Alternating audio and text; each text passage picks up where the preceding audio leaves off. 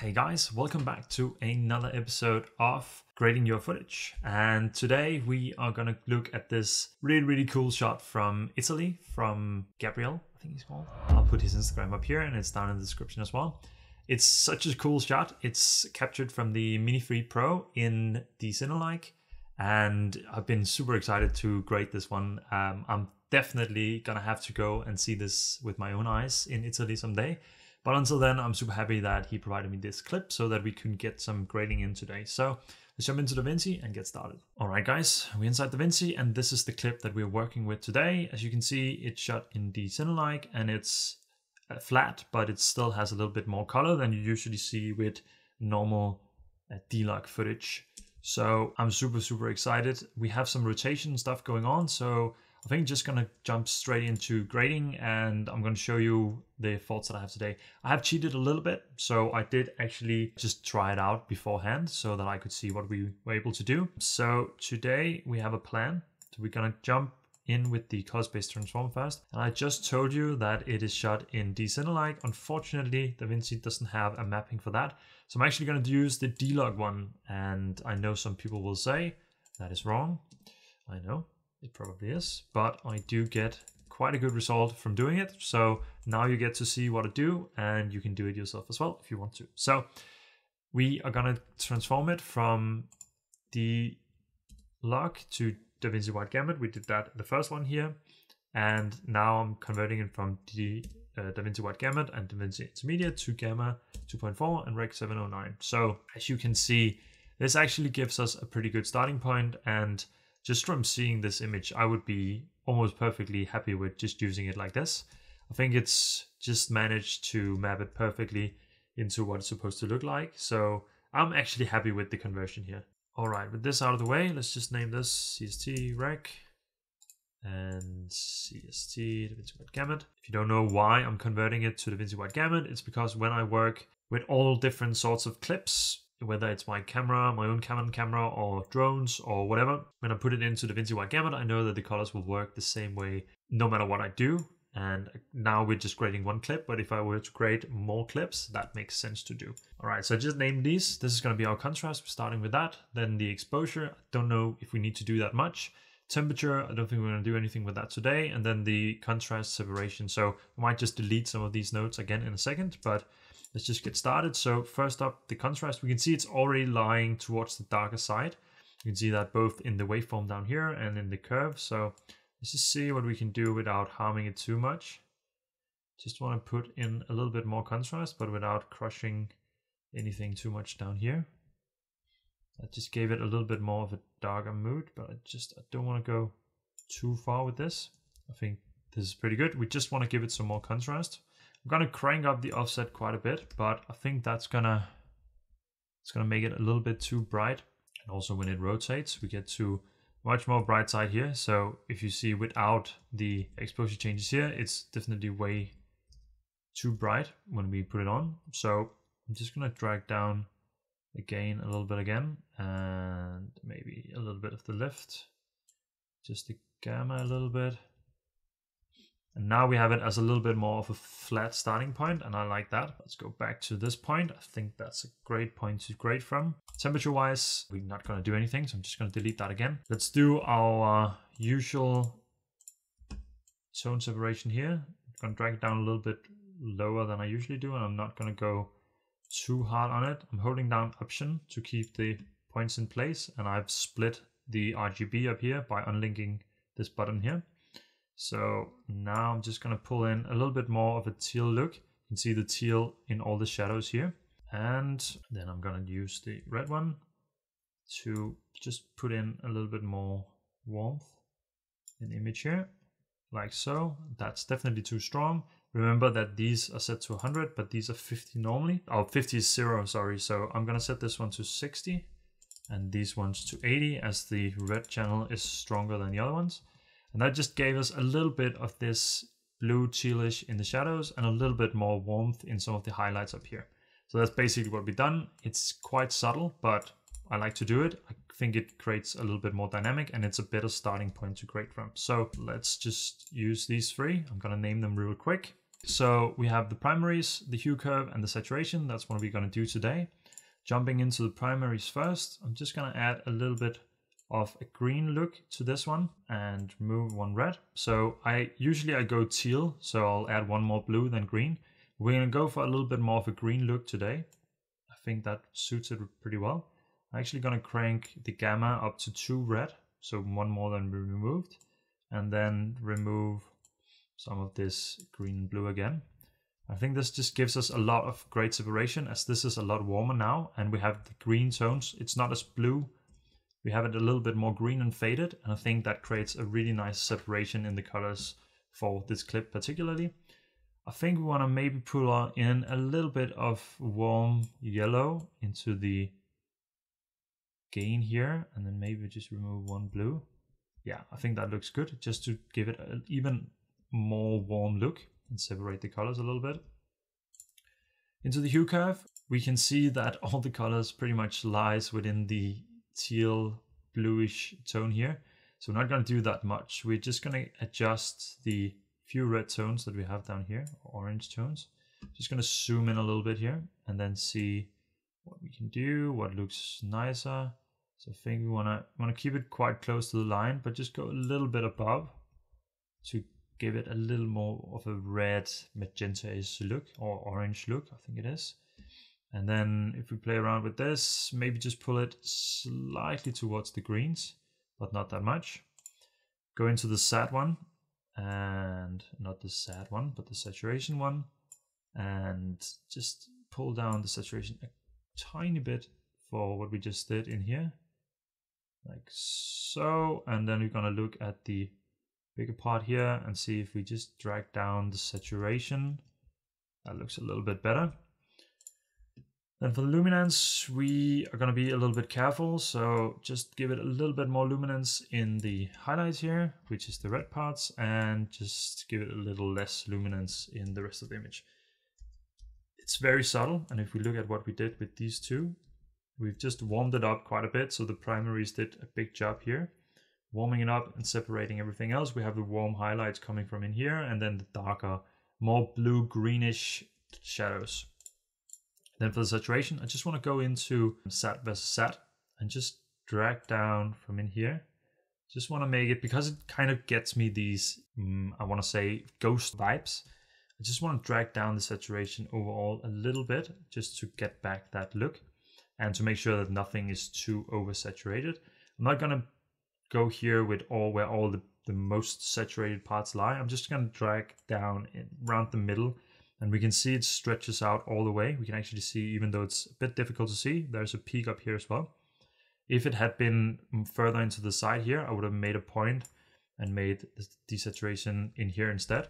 But since that's not the case, we're just to drag it down like this. It's very subtle. When I turn it on and off, you basically cannot see anything happening. I think if we zoom in, you can see a little bit of desaturation going on here. So it's not that much, but it gives a little bit of an effect. All right, on to the last part here. I'm gonna make a few parallel nodes. So making these is adding a node, parallel node. I use option A, that's the shortcut I've made. Let me just rename these real quick. So this is gonna be our focus. We're gonna put some focus and contrast into the middle part here. Highlights, gonna control the highlights and adjust those a bit. And the shadows, gonna adjust the shadows on the left side here. Now, if we look at the image, we want to put in some more contrast here to just kind of put in the focus. Then we see the light is coming from over here somewhere right now, but it's actually coming, you can see it, it lights up the entire side of the city here. So it's definitely coming from up here somewhere. But then as we rotate the clip in a minute, it'll rotate with it. So we need to make sure that we track our frame for that, our power window. And at the same time, we can see the shadows over here. But if we just make shadows overall here, it will look really weird because we have more shadows here than, than up here. So we're going to try and balance that with the qualifier. So for the first part, the focus, I'm just going to make a circular window here, pull it in, rotate it a little bit here, and then just feather it out. This is pretty good. Just going to go in and link our custom curve here again. Just going to drag down a little bit. I'm not going to do it too much. I think that was actually a little bit too much. Just like so, you can see we just made a little bit more contrast, pull in the focus a little bit more to this part. Then I'm gonna make an outside node, which basically just selects everything but the city. I'm just gonna pull down the gamma a little bit just to kind of remove a little bit of focus. And now we're gonna redo some of that with the highlight and shadows, but just to kind of fix everything. And we might actually just take the focus one and just pull up the gamma a little bit as well. The highlights, gonna make a circular power window as well. I'm gonna drag it up and out a little bit here. And I'm gonna feather it to 100.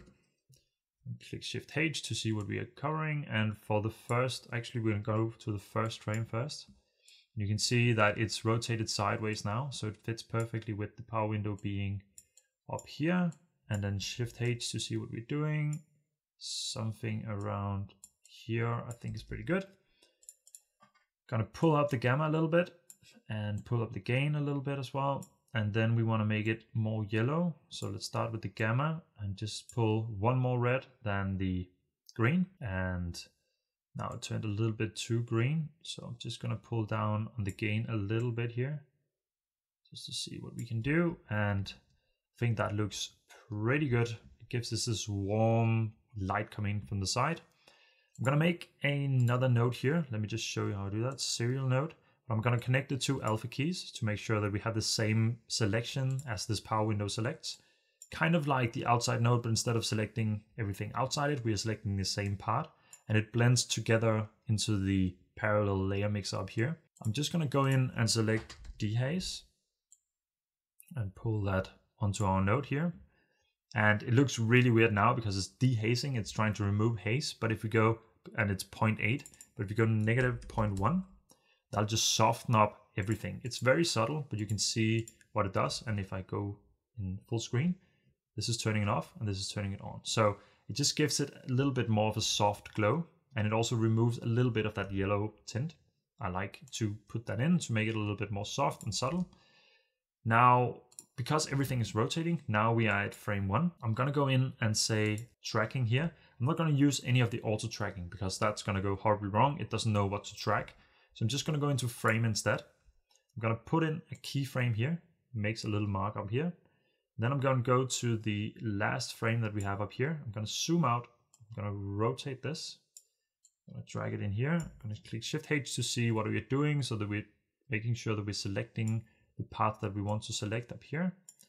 Something like this, zoom in and see, yeah, we still get, get the effect that we want. And what this does now is that when we look up here, I'll be going back to the first frame. You can see that now it rotates with it. So we're actually getting the light to switch with the scene and making sure that our light coming in from the side doesn't stay up here because now that we're rotating around, now the light would look like it was coming from up here, which is not the case. It is still coming from the bottom and that's what we're controlling with this. That's just a neat trick for you. And let's go back to the first frame again.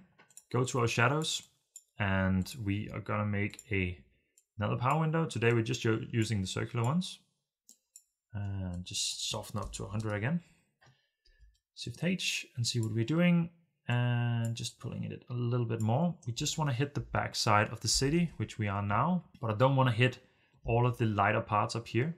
So what I'm going to do is I'm going to take the qualifier, Shift H to see what I'm doing. I'm going to drag down the luminance up here until I can see that I'm losing all this. This will not look good, but what we can do is we can soften up the highlight here and that will just make it quite a bit better. So something like this I think will be pretty good.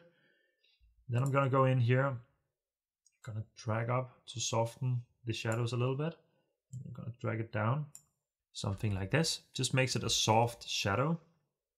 Maybe I actually pulled it up a little bit too much. Something like this. And it looks like our qualifier is not doing the exact job that we want. So maybe we need to drag it down a little bit more. Something like this, because I don't want it to be hitting this part up here too much. And maybe we can actually counter that as a little, little bit as well by just dragging this up.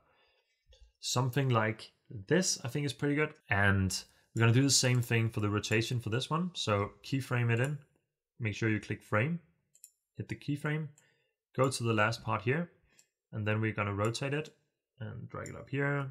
And then just make sure that we have the parts here that we want. And now you see that the scene is a lot brighter. So I mean, it's it's not affecting as much, but that's on purpose because it's basically the parts behind the city that we want affected.